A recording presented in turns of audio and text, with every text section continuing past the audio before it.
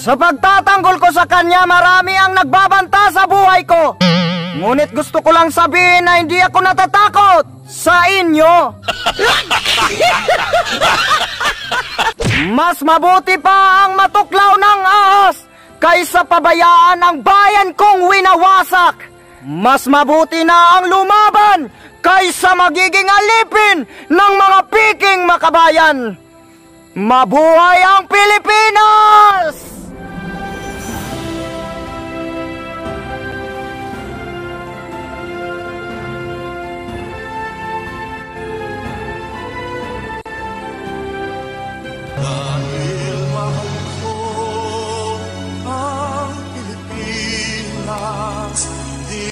Hindi tayo matatakot kung ang kapalit nito ay tunay na kalayaan. Malaya na nga ba ang Pilipinas?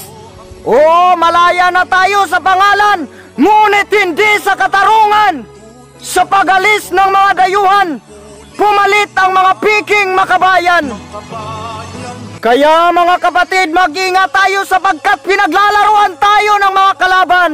Noon, si General Luna at Andres Bonifacio ang pilit na pinatalsik sa kapangyarihan. Ngayon siya naman ang pinagtutulungan. Ang dapat na pinapalayas ay yung mga taong walang karangalan. Kaya mahal na Pangulo, mag-ingat ka sa mga taong tinuturing mong kaibigan. Baka mamaya maulit pa ang kanilang kataksilan. Kung nagdududa ka na, madali lang naman yan palitan. Alalahanin nyo ang kanilang sakripisyo at kabayanihan. Nang sa ganon ay hindi tayo magagapi ng sino man. Huwag natin hayaan na mauulit ang masakit na kasaysayan. Kaya't ito'y ating pag-uusapan sapagkat inyo nang nakakalimutan. si Andres Bonifacio Rebellion ang nagiging kasalanan. Hindi ba ninyo alam na ang gobyerno natin noon ay ang katipunan? Ang gumagawa ng bagong pamahalaan nang walang buto sa lahat ng mamamayan. Kung nagtagumpay lang sana ang supremo ng katipunan, sigurado ang lahat ng kabinete ay kagalang-galang at hindi natin namana sa bagong panahon ang kanilang kataksilan.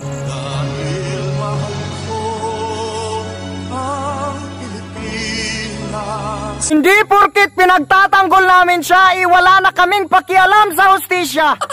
Ngunit paano kung ginagamit lang ang kanyang salita para makapagsamantala? Hindi nyo ba yon nahalata? Sabi nila tama na Super DM, yung desisyon na lang ang ating hihintayin. Kung kami ay patatahimikin, paano salarin? Papayag ba naman kami na pati korte ay magawa nilang paikutin? Pangit ang sinasabi nila kaya malamang pangit din ang resulta. Sa pagkakataong ito, voluntaryo kong nire-representa ang aking sarili para maging abogado niya. For the accused, your honor. Kagalang-galang na hukom. Nagiging guilty lamang ang nasasakdal kapag ang ebidensya ay walang kaduda-duda. Pero sa ginawa nitong dalawa, umpisa pa lang magdududa ka na. Kaya paintulutan mo na ako naman ang mag-imbestiga. Pero bago yon, pakinggan muna natin ang sinasabi nila. Lumabas na po yung mukha ko sa TV po. Dahil lumabas, ano nangyari? Natakot ka ba? O Oh, bakit mo siya tuturuan sa sasabihin niya? Hayaan mo siyang magsalita. Ganyan ba yung tamang pag-iimbestiga? Anong sabi mo, natatakot ka ba? O ikaw ang natatakot kasi baka mawala siya sa linya? Itsura pa lang, close na close kayo ah! Yan na ba yung bago mong artista? Sino ba to? Pasensya na, hindi ko siya kilala. Pero kapag nakikita ko to, naaalala ko siya. Napapahamak ang saf dahil ang katapatan ay nasa pira. Si Abalos, nakita ko yan sa preskon sa media. Seryosong usapan, nagawa niya pang tumawa. Pero alam nyo ba kung ano ang mas bagay sa kanya? Yung matutulog ng nakanganga. Tama ba yung magpipresko nang hindi pa luto ang ebidensya? Sa ginawa nyo yung kalaban na kapag handa. Pumalpak ba talaga kayo o sadyang sinasadya? Sagutin nyo yung tanong ko, pag di nyo nasagot, dapat sinasalang din kayo sa piskalya. Kung sa Bisaya pa, abalos, may pagmaglus-lus ka. Si Villamor ay nasa critical situation. Tapos hindi nyo binigyan ng full of protection. May dala pa siyang cellphone. Imposible naman kung hindi kayo nag-inspection. Kasali ba sa script ang cellphone kaya nagkaganon? Pati yung beer planted ba yon? Sumagot kayo dahil kung hindi kayo ang makukulong. Mahal na Pangulo, kung hindi nila masagot ang aking mga tanong, hinihiling ko ang kanilang suspension. Dahil kung ganito ang mga nasa posisyon, yung problema natin, walang magiging magandang solusyon. Kagalang-galang na hukom, narinig mo na ang aking objection. Kaya ikaw na ang bahala magdesisyon. Iskoryal, sa pag-amin mo, maaaring bababa ang iyong sentensya. Pero kapag napatunayan na nagsisinungaling ka, bugha ka. Kung ikaw ang gunman, so alam mo talaga mismo kung sino ang mastermind. Imposible naman kung aasa ka lang sa middleman. So magdududa ka talaga kung magkano ang bayaran. Iskoryal, tinatanong ka kung sino ang mastermind. Di ba sabi mo si Bantag daw? So ang ibig sabihin, hindi ka pala sigurado sa sinasabi mo. Iskoryal, di ba sinabi mo tinatawagan kayo ni Bantag? Kung tinatawagan kayo, anong gamit? Po number o messenger? Kung po number, ano ang number ni Bantag?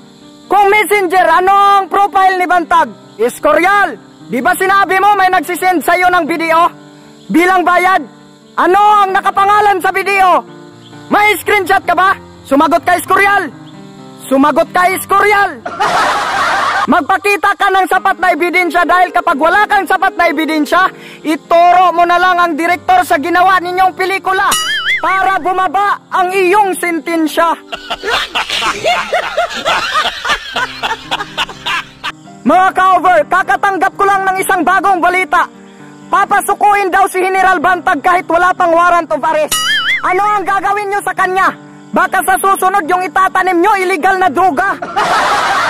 Ako, bilang super DM ng pambansang makabayan, ngayong Nobyembre 8, 2022, idineklara ko ang mapayapang social media revolution. Si Andres Bonifacio ay napakapait ng kanyang kamatayan. Kaya't napakasakit maparusahan ng walang kasalanan, lalo na kapag ikaw ay tunay na lingkod ng bayan. Kaya lalabanan natin ang mga piging makabayan. Magkaisa tayo na isigaw ang katotohanan. Magkaisa tayo para sa tunay na kalayaan. Mabuhay ang social media revolution! Ang bayan ko'y tanging ikaw. Pilipinas kong mahal Ang puso ko